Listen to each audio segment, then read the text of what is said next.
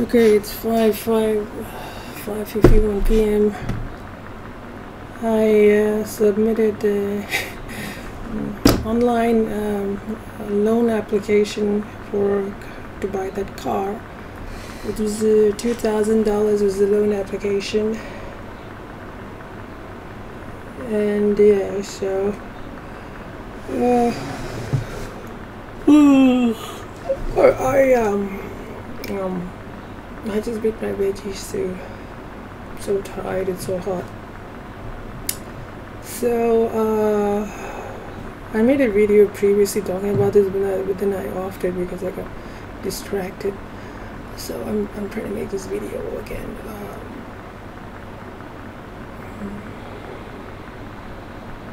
anyway, so I told them like you know uh, I bought an iPhone 6s Plus and I paid it back and I got another iPhone and I'm planning to pay it back. So and I'm trying to what can aid they're asking what else can aid in your application and I told them the reason I don't have a job is because uh, I have a psychosocial disability and I'm on the disability pension and I'm an NDIS participant. I also told them that I have plans to move out next year and also mentioned, hey, I might move to Albury it possible or to Armidale or interstate. And I told them yes I understand that moving out will place uh, additional financial stress but based on a budget which I've been uh, working on and reviewing I am confident that I can uh, pay the 90 to 100 dollars per month because I think the repayment will be like 90 to 100 dollars per month. It's kind of like my phone you know my phone was like what like I just the the the iPhone 6s Plus I ended up paying like uh, over six grand over two years. Uh, not six grand sorry. Three grand. Six grand is a bit much. But whereas this phone I'll be paying like a, a little maybe around fifteen hundred dollars over one year. I chose to pay this over one year. So I do have I do have some evidence of repaying loans so that should help my application. Um, I also said while I haven't always paid back money I borrowed from family uh, it's true like family you know. I was I also told them like I wanted to the reason only reason I'm um, applying for this is because I can't borrow any money from a family member. Um, yeah there have been times in the past where you know I borrowed money from my brother maybe even my mother, probably, I guess definitely my brother. I haven't paid back the loan, and uh, I guess I have, it's mostly the rent, you know, like because sometimes I haven't uh, like even though all three of us are on the rental lease, my brother pays the rent and I pay my you know some money of mine to him, and I haven't always done that, like uh, so. So so anyway, but, but when it comes to like borrowing money from companies, like I've paid back. There was one uh, instance I think when the, the Optus loan was sort of like overdue, but I think that's because I didn't change my expired card. I think that was the reason. That's what I said. It was during the coronavirus thing. Hope that's the reason because it is to the best of my knowledge and understanding that the uh,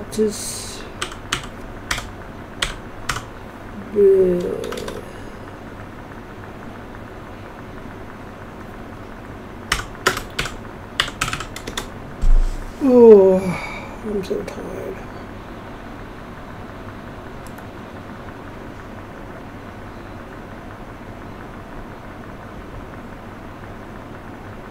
Yeah,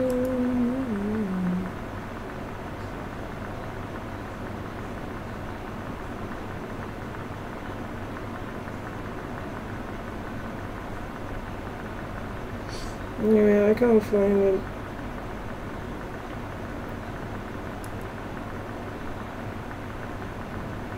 Yeah, anyway, I paid it uh, when I found out the thing was due or something. I immediately paid it, so wasn't like I was like um, you know, in arrears. I, I did pay it back once I found out that the one payment, you know, it's like forty dollars. I, I, I think it's I, I can't. I mean, I can't go to all the details and stuff now. That's just to the best of my knowledge. I could be wrong, but it's to the best of my knowledge. am uh, prepared to check back and confirm if. why am I even making this dumb video? Alright. Because someone's gonna watch it and say, You liar, you committed fraud on the application. You told them that you didn't pay one bill of $40 because the card was expired but may, maybe the truth is so it has something to do with COVID. Either way, I still paid it. I, I still paid the money. Whatever the reason. Uh, I, once I found out it uh, I better stop this, this stuff, this upside. I better stop being so self-critical. There's a big problem I have. It's being very judgmental and self-critical. It's a self-critical. Yeah, so I, you know, I sent them the application with a loan. Uh, they said they'll get back to me within one to three days, probably business days. And I let the uh, seller of the car know, um, you know, uh, told them that I sent in a loan, and um, and, and, and I'll I'll uh, contact them within a one to three days, business days, about the outcome of the loan application and uh, I told him, I don't know if I needed to say this, but I told him, if you uh, change your mind about selling the car, or you, or you or you sold it to someone else, or you or you, or you found another buyer, please let me know. I don't know if I needed to say that because it's like, does it sound manipulative? Because I mean, he has uh, every right to change his mind or uh, because we haven't entered into a contract, right? The contract only is entered into when there's the exchange. So the, when he gives me the car and I give the money, that's when the contract is formed, right? Um, so when I said I uh, when I said oh, please let me know if you change your mind about selling the car or you find another buyer. I'm sort of like, I didn't want to, like, him to feel obliged to hold the car for me. But then I'm thinking, well, that's not. He, he, why would he feel obliged to hold the car for me just because I said, um, uh, I guess. I guess what I wanted to say is, what I didn't end up saying. I guess what I wanted to say is, I have, I sent in an application for a loan. Uh, I, uh, could you hold a car for me until I get the um, until I know whether my loan has been approved? I guess that is what I wanted to say. But instead, what I said was, if you change your mind about selling the car or if you find another buyer, please let me know. That seems kind of passively manipulative. It's not. I don't know if it's manipulative. It's just like not being very direct. Afraid of being direct. Ah, yeah. It's, it's afraid of being rejected because I was like afraid that if I asked him to hold a car for me while the loan is being processed, and if he says no, now I would feel so rejected and so hurt. So instead of facing the possibility of the seller saying, no, I'm not going to hold the car, I said, uh, could you, um, if you if you do change your mind or if you find another buyer, please let me know.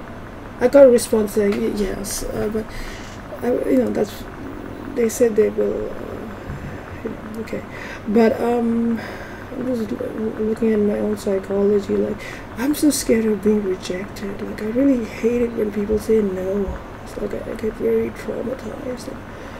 I, I just get it just becomes so personal and it's, it always uh, invokes these it always create you know I get these traumatizing feelings of rejection and even when someone like you know, like a stranger complete stranger I don't know says no or I think will say no. So instead of putting myself at the mercy uh, of being potentially rejected by someone saying no to a request I, I, so instead of having to face the possibility of someone saying no to a request I, I said something like oh if you do change your mind or find another buyer please let me know. I know that seems kind of passive aggressive it's a it's passive something. It's a passively indirect way of hmm I'm not really sure what it is a passive way of communicating uh,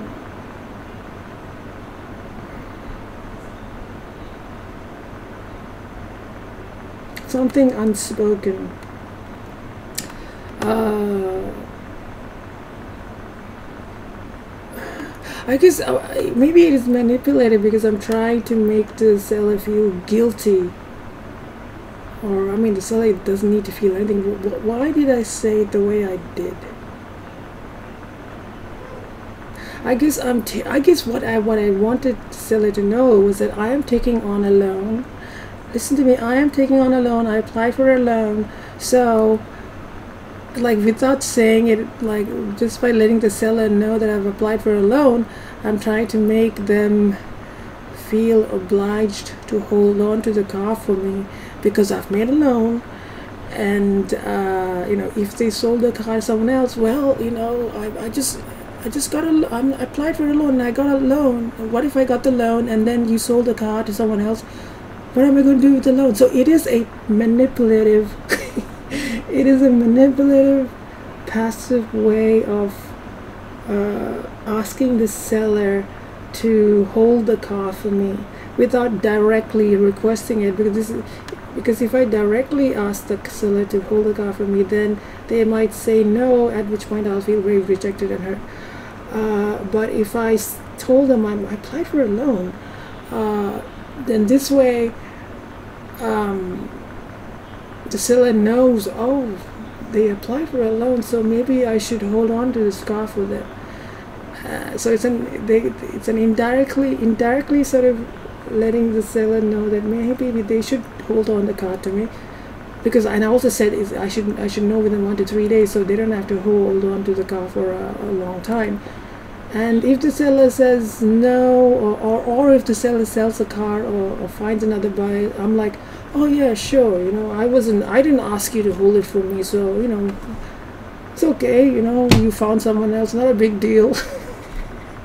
Because i already said it oh if you if you change your mind or find someone else let me know. So it's like a very indirect way of letting them know that i applied for a loan. So they're of, of, of trying to encourage them to hold on to the car for me but at the same time also giving me a way of escaping like saying oh if they did find someone else or change their mind i'm like oh yeah okay you know that's all right. I mean you know so it's an indirect way of trying to tell them to hey i applied for a loan just don't sell it to anyone right I, I didn't i don't know if it's that strong but it's sort of you see how how um, perhaps it is manipulative.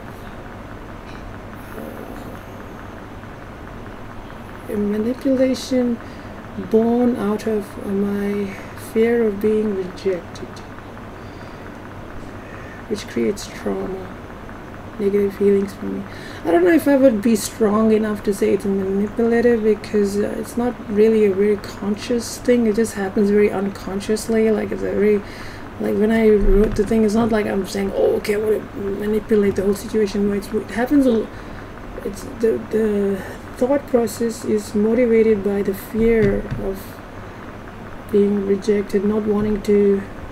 and at the same time i don't feel like imposing i don't feel like asking people to do things for me so instead of asking the seller hey could you hold on the car for me I see.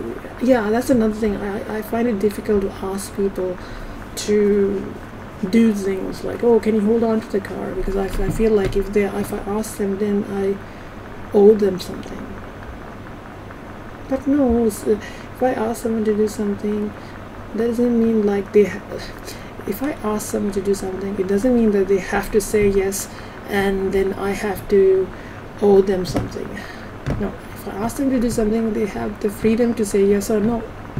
And if they say yes i guess there is an expectation that i would sort of uh, play my part or do you know if i said can you hold on to the car for me until my loan is processed? And the seller says okay. Uh, then then my role is to uh, find out what the application says and communicate that to the seller right?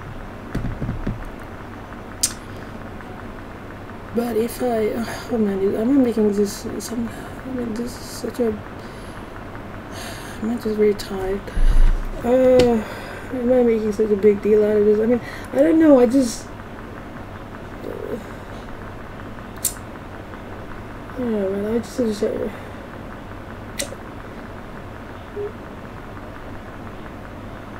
yeah I don't I don't I guess I don't I just don't know what's going to happen you know? I don't know if I if if the if I'm going to get I don't know if my loan is going to be approved I don't and e- and uh, even and even and I don't know if I'm going to be able to buy this car. You know? It could be the case that my loan is not approved in which case okay I can't buy the car. That's pretty straightforward. But if my loan is approved and the seller finds another buyer that means you know I would have a loan and then I have no car to buy and I'm thinking, can I then go back to the bank and say, hey, the person I want, the car I wanted to buy has been sold. Can you cancel this loan? I mean, I was reading the terms of their loan, and um, it says it's not a term. This is some kind of uh, document. It's called general conditions or something. It says, can I terminate the contract? On this on page. Uh, 11 it says yes you can terminate the contract by writing to the credit provider so long as you have not obtained any credit under the contract mm, or a card or other means of obtaining credit given to you by a credit provider has not been used to acquire goods or services for which credit is to be provided under the contract. However you will still have to pay any fees or charges incurred before you terminate the contract. So does this mean if I have the money, let's say the bank gives me the money, and uh, you know what, I, I, I have not entered into the contract, you see, I've only sent in an application for a loan, and the bank can come back say, yes, uh, your application is accepted that doesn't mean I still have to agree and say yes. Uh, the, if the banks, if the bank says your loan has your loan has been approved, I don't think the contract forms at that point. I think I have to then agree to the bank by saying signing a contract, right? Signing an actual contract, you know, because you know. So if the bank if the if the bank says my loan has been approved. then I can go to the seller and say, "Hey, my loan is approved. Are you uh, are you ready to sell?" Yeah. So in that case, if the seller says, "Oh no, I, I have found another buyer," then I can say, "Okay, no worries," and I can go back to the bank and tell them, "Oh, you know, the car the um, the, the car is not a you know has been sold or whatever, and therefore I do not need the contract. Uh, I do not need the loan, and I can." No, I don't have to take on the loan then, right? Yeah. I, uh, so I applied for the loan. That doesn't mean uh, I have I have actually entered into the contract. You see, because I thought that simply by sending in the application, the contract has, and if I sent in the application the bank accepted the application, that means the contract was formed on the moment the bank accepted the application. But no, I think the contract is formed when I take the money. Yeah, I think the contract is formed when I take the money, I didn't, this is something I studied in law contract, and what the fuck there's offer and there's acceptance. Uh, so I offered to to repay the loan, the, the bank gives me the loan. there has to be exchange. And acceptance. There's only all these steps. Uh, anyways uh, that's what I'm thinking. I hope that I hope that my loan is approved and I hope that the seller still uh, wants to sell the car when I uh, when my loan is approved. And then I hope that I can actually go and get the car. Yeah. So it's all like kind of floating in the air at the moment. Hmm.